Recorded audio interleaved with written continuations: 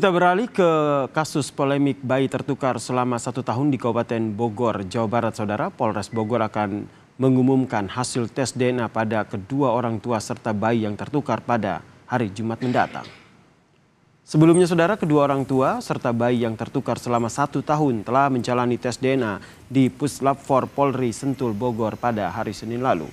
Kedua belah pihak menjalani tes DNA dengan didampingi para pengacara.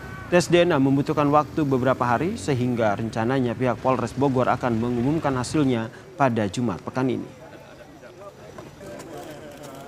Insya Allah hari Jumat ya kami akan memberikan perkembangan yang sangat luar biasa dan alhamdulillah ini sifatnya kemanusiaan. Saya minta nanti semuanya bisa hadir. Kami akan mengundang Kementerian PPA dengan KPAI untuk hadir. Insya Allah hari Jumat Hari Jumat berarti hasil pengumumannya. di Polres ya.